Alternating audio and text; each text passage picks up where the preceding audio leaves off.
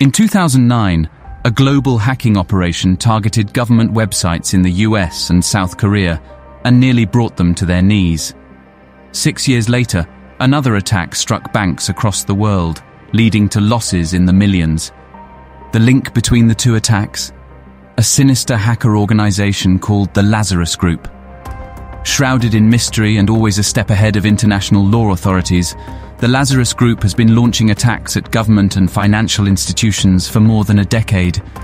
Their high-tech weapons range from brute force attacks to digital heists. Yet, despite the notoriety of their attacks, the identity of the members of the Lazarus Group remains covert. The origins of the Lazarus Group are full of secrets. Even the group's name changes depending on who you speak with. Appleworm, Group 77, Hidden Cobra, Red Dot, Whois, and Zinc are only some of the names international agencies use to refer to this cyberspace menace. However, the internet trail left by the attacks, IP addresses, and the initial targets all point to the same place of origin, North Korea. Unfortunately, a direct connection between the country and the Lazarus Group is far from conclusive. A definitive list of cyber attacks carried out by the group is also uncertain. The first cyber attack attributed to the Lazarus Group occurred in 2009 and targeted the US and South Korean governments, financial institutions, and news organizations. Digital forensics suggest the group may also have been involved in attacks launched two years earlier. In the mid and late noughties, the Lazarus Group executed devastating hacking attacks, digital bank heists, and ransomware attacks around the world. Although some were thwarted, the successful attacks were severe enough to put worldwide authorities on high alert. In less than a decade, the Lazarus Group established itself as an international cybercriminal threat that could not be ignored. In 2009, the Lazarus Group launched Operation Troy, a three-wave cyber attack that wreaked havoc on major government and financial networks in the US and South Korea. The first wave of Operation Troy was launched on July 4th, American Independence Day, and targeted US and South Korean websites, including the Pentagon, NASDAQ, the White House, and the New York Stock Exchange.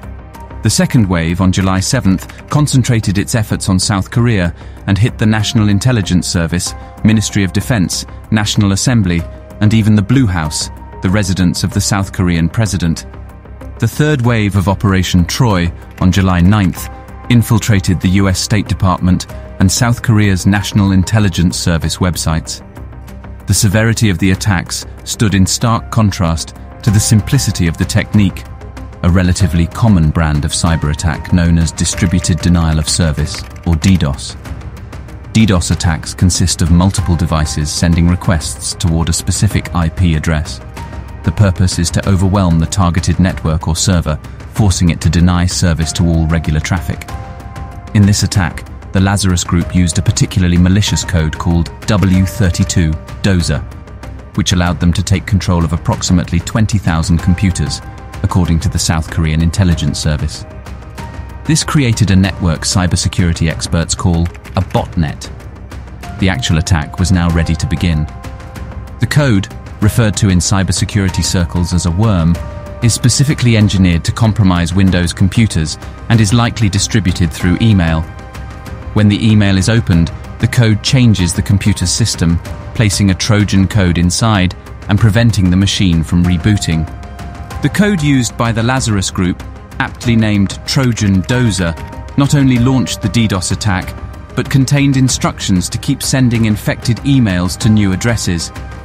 Trojan Dozer also had a self-destruct function that would delete crucial data from the infected machines and render them inoperable. Surprisingly, Operation Troy's primary objective wasn't to steal confidential data or bring targeted sites down.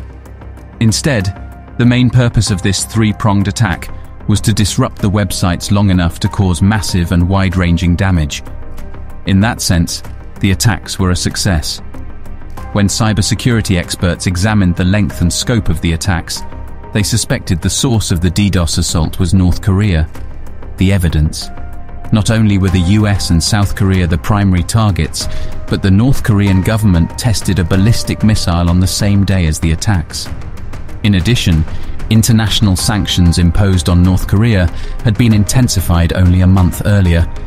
Yet the National Intelligence Service of South Korea didn't find conclusive evidence pointing toward their northern neighbor. However, infected networks were found in 16 countries, but not North Korea. The Lazarus Group became a hot topic in cybersecurity circles. Who were they? Where were they? Would they strike again? The hackers were proving to be as mysterious as they were dangerous. The 2009 attacks were only the beginning. After Operation Troy, two more DDoS attacks were launched against South Korea in 2011 and 2013. These attacks were similar to the original, but were notably more sophisticated. It demonstrated the Lazarus Group's ability to quickly develop more efficient tools to counter new security measures. The 2013 attacks also provided more evidence that the North Korean government may be behind the group. One of the IP addresses utilized, for instance, was also used in previous cyber attack attempts traced back to the country. In 2014, Sony Pictures was hit with a severe hacking attack.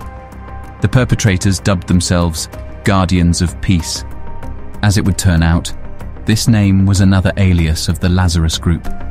Unlike other attacks by the group, the Sony Pictures hack had a clearly stated purpose. The hacker group announced they were targeting the company over the release of The Interview, a comedy co-produced, co-directed, co-written by and starring actor Seth Rogen. The plot of the fictional movie revolved around an assassination plot targeting Kim Jong-un, the leader of North Korea. The attackers utilized specialized malware that allowed them to gather sensitive information about Sony Entertainment Network and its employees. The stolen data included employees' personal information, salaries of high-ranking executives, business and personal emails, and even information on employees' families. Additionally, the hackers stole movie scripts, production plans, and copies of movies that were still awaiting public release. However, the final blow that the hacker group threw was arguably even worse. In addition to the malware, a wiper was also inserted into the computer network with a singular purpose, to destroy the software infrastructure by deleting critical files. The wiper was deployed successfully and the Sony Pictures network went down quickly. The results were devastating and cost the entertainment company about $15 million in damages. The hackers demanded the immediate withdrawal of the movie while the attack was in progress. The group also threatened any theatres screening the film, claiming such cinemas themselves would become targets of terrorist attacks.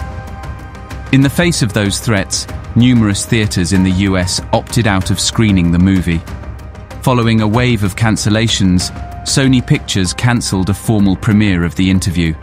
Instead, the movie received a digital release with limited theatre showings. The motivation behind the hacking attack presented another strong piece of evidence connecting the Lazarus Group and the North Korean government. In fact, intelligence structures in the US suspected that the North Korean government actively supported and sponsored the attack. Despite the seemingly undeniable connection, Pyongyang officially denied any involvement in the attack. The Lazarus Group was also responsible for several digital bank heists. The group exploited system weaknesses in the SWIFT banking system and deployed malicious software to target banks in several countries between 2015 and 2017. Banks located in Vietnam, Ecuador, Mexico, Poland, Bangladesh, and Taiwan were victims. Of those attacks, the Bangladesh heist in 2016 proved to be one of the biggest in the Lazarus Group's history and earned them even more international notoriety. The Bangladesh Bank the central financial institution of Bangladesh, had an account in the US in the Federal Reserve Bank of New York. To control those funds, the Bangladesh Bank used the SWIFT network. However, the institution's access points for SWIFT weren't sufficiently secured, leaving the account vulnerable to attack. The Lazarus Group didn't hesitate to take advantage of this exploit. During a weekend in February, when the bank's offices closed, the Lazarus Group entered the computer network of the Federal Reserve Bank of New York and obtained crucial information. In particular, the group learned the transfer methods as well as the credentials that the Bangladesh bank used for payments. It's suspected that the hackers had insider help during the process. With this information, the Lazarus Group made approximately 35 fund transfer requests to accounts based in the Philippines and Sri Lanka. In all, more than $851 million was requested. Due to the considerable amount requested, most of the transactions were forwarded for further review. Yet five transactions totaling more than $100 million were completed. An estimated 81 million went to the banking system in the Philippines, while another 20 million went to other parts of Asia. Whilst the majority of funds were eventually recovered, the money that entered the Philippines exchanged hands several times, going from accounts registered to fake identities, exchanged for the local currency, then transferred to a different account. Investigations in several countries and institutions were launched. The Bangladesh Bank's own internal investigation found that the malicious code used to retrieve transfer data entered the bank's computer system. They also found striking similarities between their case and a similar hacking heist that targeted the Sonali Bank in 2013. Both attacks included possible help from an insider and took advantage of swift system exploits. Meanwhile, in the Philippines, an investigation was launched by the National Bureau of Investigation looking into the account that received the funds that had then been converted into pesos.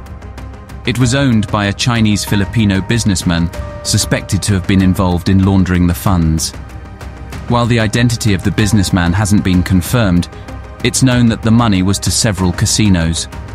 The recipient operated from Macau, China, and reportedly used the funds to purchase casino chips or cover other casino expenses. The Anti-Money Laundering Council of the Philippines, working on the theory that the heist funds were laundered through casinos, started looking into possible casino connections with dubious bank accounts. These investigations, as well as those conducted by other government agencies, resulted in several lawsuits and convictions for money laundering. But unfortunately, authorities were no closer to the perpetrators of the massive Lazarus Group heist. The breaches that Andariel performs consist of breaking into confidential databanks and stealing sensitive information. Other cyber attacks committed by this subgroup include the aforementioned DDoS attack and attacks that may bring down important government websites. A US Army report issued in 2020 estimates that Blue Noroff consists of approximately 1,700 active operatives.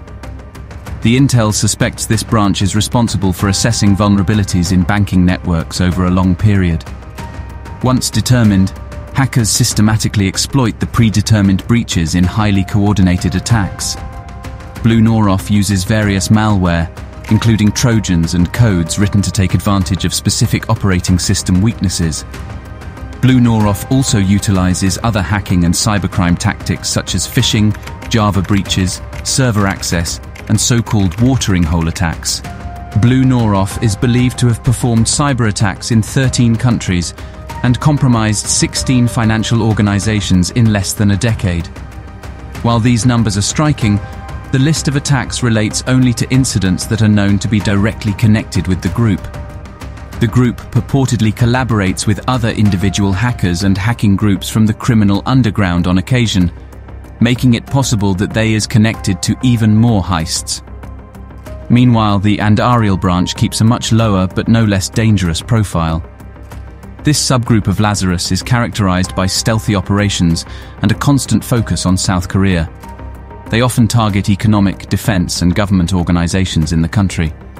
The frequency and severity of Andariel's attacks on high-security targets mean no US or South Korean organization is safe from the hacking group, the US Army report estimates Andariel is 1,600 members strong, and its operatives have assignments that include recon and vulnerability exploration and mapping out potential patterns for future attacks. While Andariel also uses malware, this division of the Lazarus Group has a broader selection of tools at its disposal. Andariel exploits software vulnerabilities with techniques like macro, infected software updaters and installers, watering hole attacks, and false antivirus software, to name a few.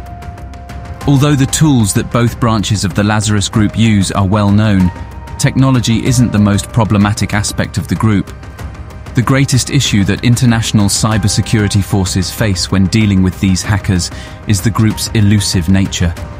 Despite the investigations and reports, There is no direct link between North Korea and the Lazarus Group. The hackers remain anonymous and dangerous, and they are still at large. If you've enjoyed this report about the Lazarus Group, please show your support for the channel by liking this video and sharing it with friends. Subscribe to get notified about new videos from iExplained as soon as they come out. Thank you for watching.